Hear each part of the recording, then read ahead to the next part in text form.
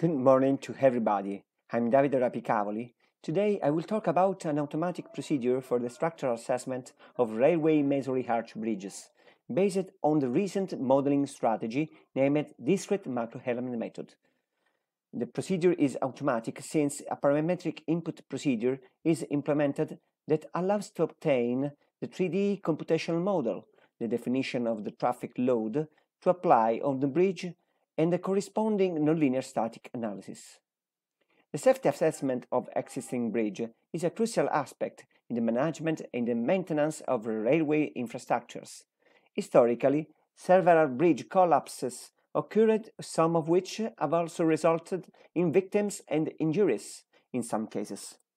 Recently, in Italy, we observed an increment of number of collapse cases, in particular, it was observed, as reported in the table, that the average of cases since 2011 up to date is equal to 1.5 failures per year. This situation inducted the public opinion and the public organizations to check the structural safety of existing bridges. The modeling of historical bridges structures have to take into account several issues. In particular, the masonry arch bridges have been constructed according to old design strategies. The original design drawings are not available and the several parts are not accessible. The, pike, the backfill contribution is not easy to evaluate and uh, the masonry piers are generally not homogeneous, being a result of a perimeter stiff masonry wall confining a rubble masonry nucleus. Creep phenomena are very important because uh, they lead to a redistribution and an expected collapse. External spandrel walls can influence the structural response, and the masonry texture can play a fundamental role. Another problem is the scour action at the foundation of piles and abutments. In this context, several simplified and detailed computational strategies have been proposed in the literature. These are mainly based on finite element method in the distinct element method, rigid body spring model, at the level of global discretization, we can distinguish one-dimensional, two-dimensional, three-dimensional models. The type of analysis that can be executed are nonlinear static analysis or limit analysis.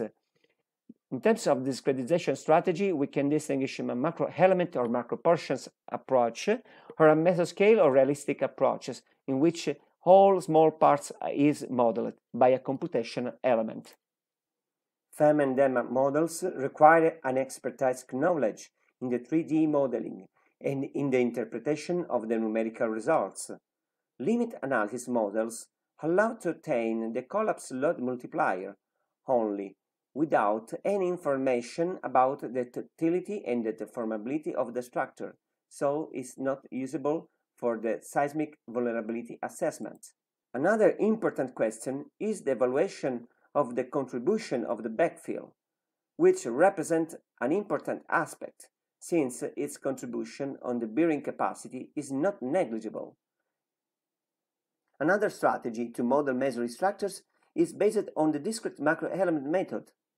In this case, the masonry is divided into macro portions, identified as macro elements, whose behavior is simulated by an equivalent mechanical element. This equivalent mechanical element can be represented by a quadrilateral articulated with two diagonal links introduced to simulate the nonlinear shear deformability of the masonry, and a set of nonlinear links for the interface in order to connect two adjacent elements. The macro element is capable to describe the main failure mechanism of masonry elements, namely flexure failure, shear diagonal failure, and shear sliding failure.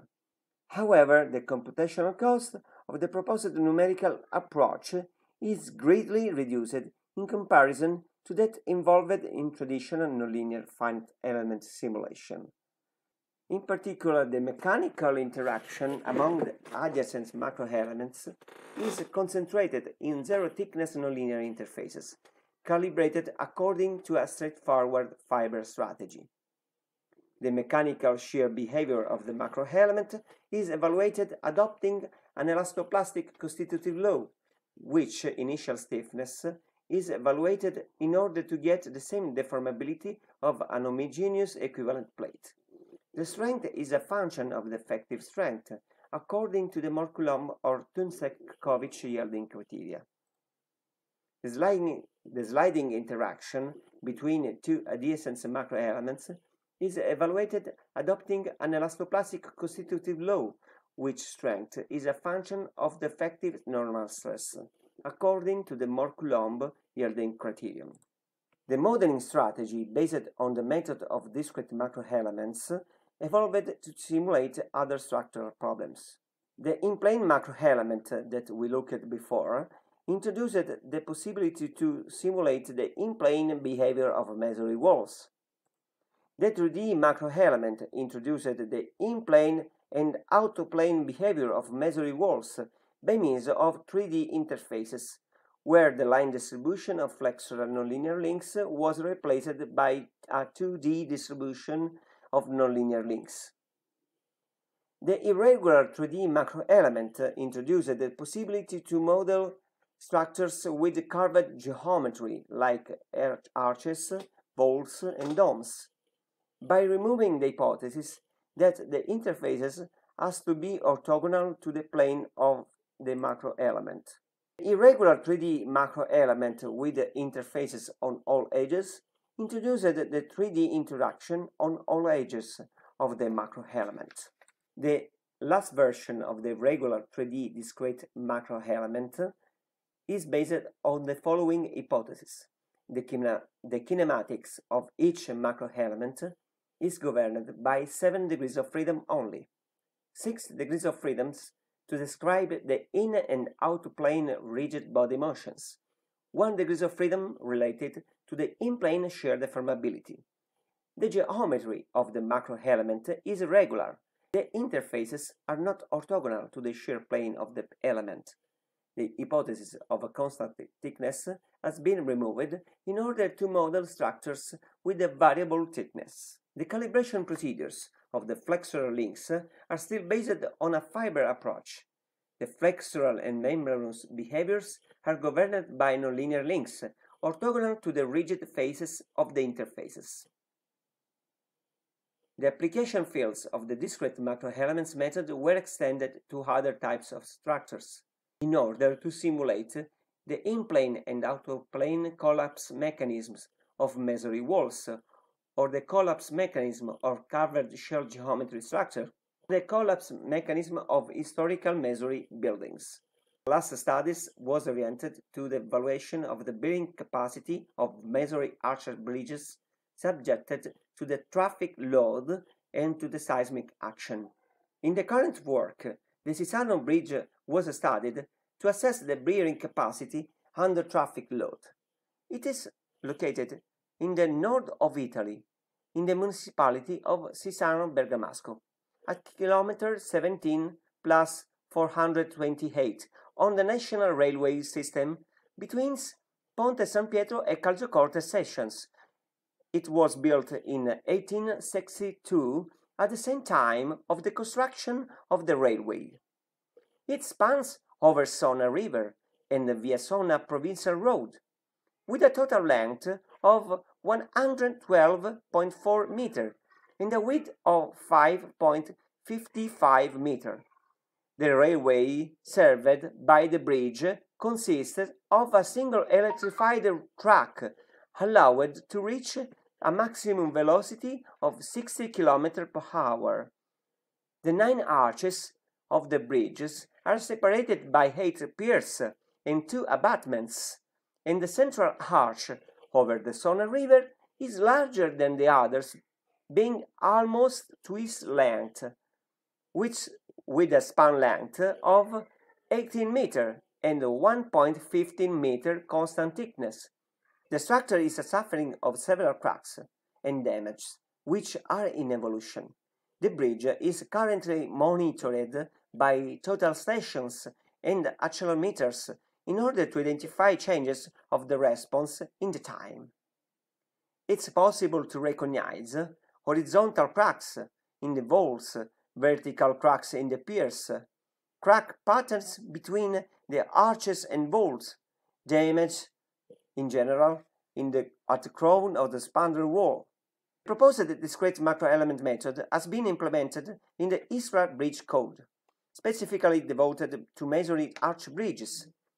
The software allows to model typical masonry arch bridges with the aid of a parametric graphical user interface that facilitates the input of the geometry, the mechanical properties of the materials and the loading conditions.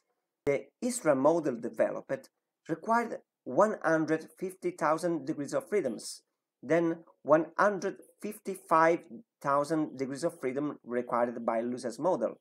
So the discrete macro element model required a lower computational effort than the finite element model, without loss in accuracy in the numerical results obtained.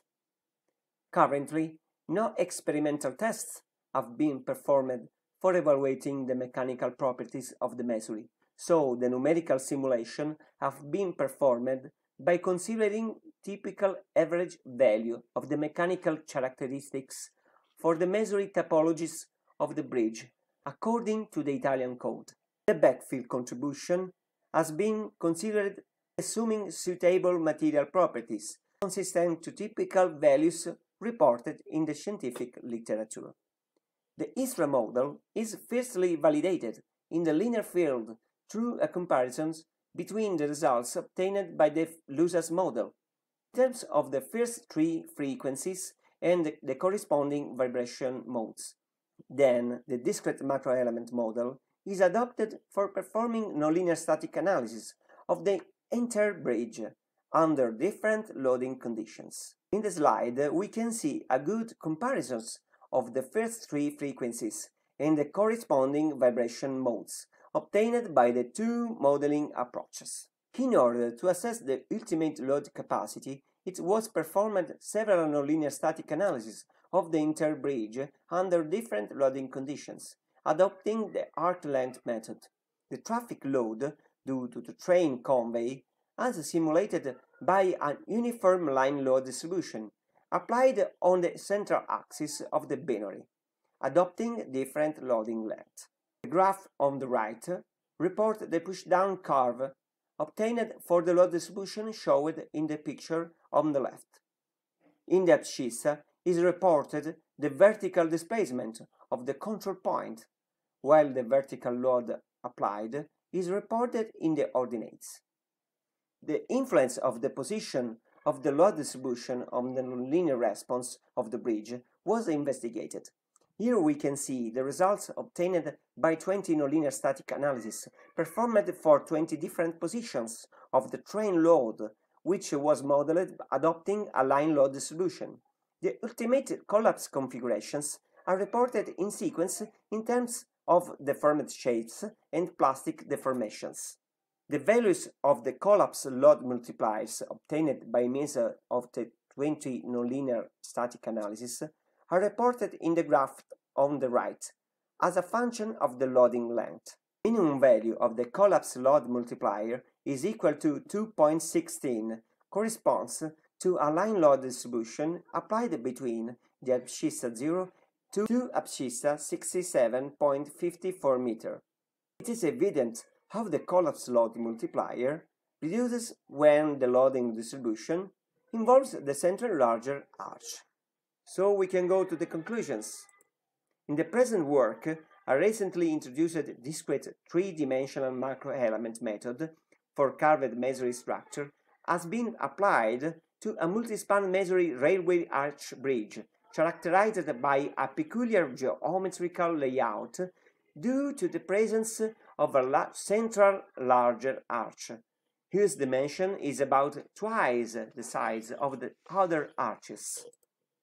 The model is based on a discrete macro-element method that allows to reliable simulation of the linear and nonlinear response of masonry bridges with a lower computational cost compared to the classical nonlinear FEM analysis.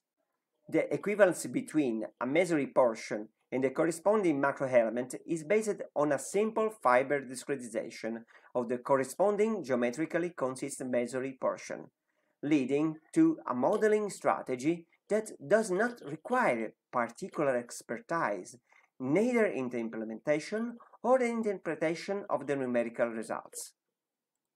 In this work, fiercely, a linear elastic validation of the discrete macroelement model has been obtained by comparing the eigenproperties of the investigated bridge with those obtained by a FEM simulation. Several nonlinear pushdown analyses for different loading conditions corresponding to diverse positions of the train convey on the bridge have been performed.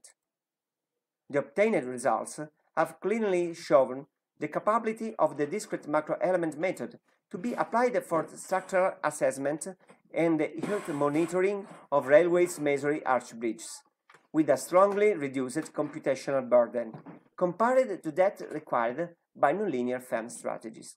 Thank you all for your attention.